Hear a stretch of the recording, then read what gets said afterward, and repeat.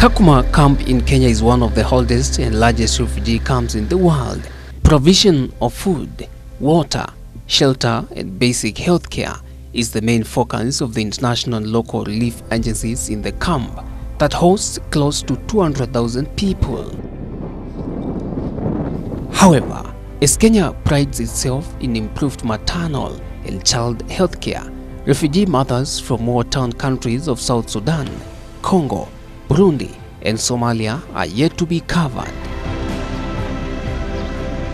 In Kakuma refugee camp, pregnant and lactating mothers and children live a life they want, even after seeking asylum in Kenyan soil. Since 2016, we have progressively been getting more numbers of uh, mothers who are coming. They are young, they are not at the age of consent, they are teenagers who are coming and they are pregnant. Teenage pregnancy, I usually say, is just a cos cosmetic word of defilement. Because if you're talking about somebody who's below 18, who's pregnant, then it means that is uh, unconsented sex. In an attempt to make life better for the mothers, the United Nations High Commissioner for Refugees, UNHCR, and the Kenyan government allocated a new site, Kalobeyei, 25 kilometers northwest of Kakuma, with an aim of decongesting Kakuma camp as well as settle new asylum seekers. Both camps have a huge population and with houses closer together, the idleness in the camps facilitate more frequent sexual relationships which calls for modern methods of curbing and planned pregnancies. Yeah, yeah, before in South Sudan, in South Sudan we have a, a lot of problem, a lot of challenges because in South Sudan there is no hospital and if there is hospital it must be in the city. But for the small area like the village, there is no people there take care. Well, uh, the teenage mothers make around like 10% of our pregnancies, around 7 to 7 to 10% of the pregnant mothers that we see at our antenatal clinic. Mama Rebecca, a safer motherhood promoter, was being incorporated to the Kalobeyei Hospital after abandoning South Sudan.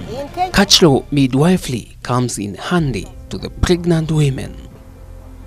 And some of them, they are getting pregnancy with a, teen, teen, uh, with a teenager like them, the boys, 16 years, 15 years. And some boy, they are running back to South Sudan. Even while they are here, when you can go and you see, the boy also is still teenager. And the girl, they are still teenager. It means the mother, she's a child, and the father, even the child. All three, all their children. A South Sudan refugee Lilian Nyagi is said to be discharged from hospital after delivering a 50 child at the Kalobeyei Hospital and narrates the difference between having a baby born in war zone and in hospital. Uh, me, uh, before uh, I'm not coming to the Kenya, I deliver more than 80 children in South Sudan.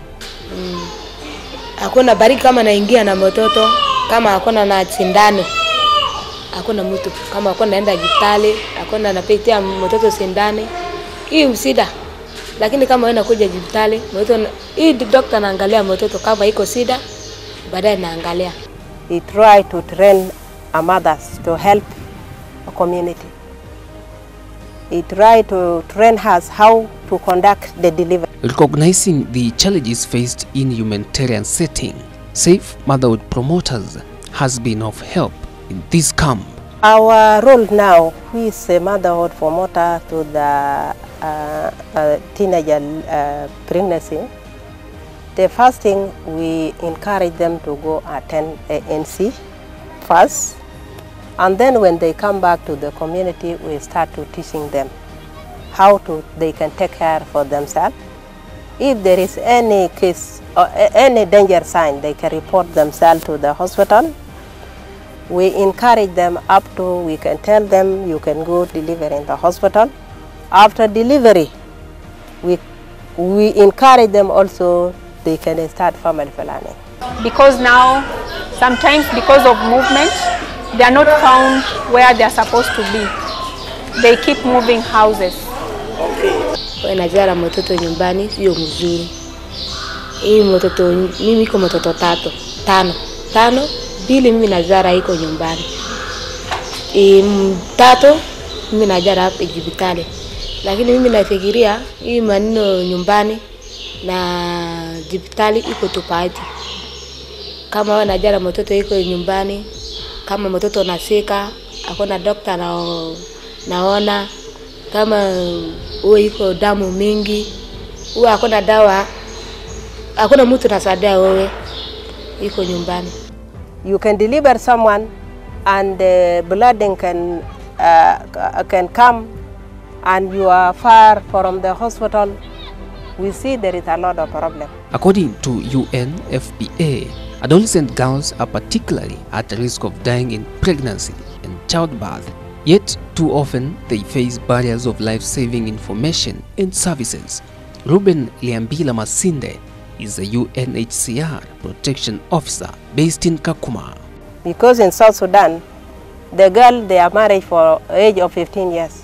When someone get pregnant, during the delivery, a lot of challenges because it's still, huh? even if you cut, it's still the child is not come out. Huh? Even some people, when we take them, we refer them to the hospital. If they can do uh, abrasion or they can pull the child with the vacuum. Yeah. So the Kalobeyei people uh, can access the maternity. They know it's near, so they can come to deliver. So as much as we are having, we still have a few cases that deliver at home, but we have a higher number of women that are delivering in the hospital. UNFPA brings on board um, their niche, which is reproductive health.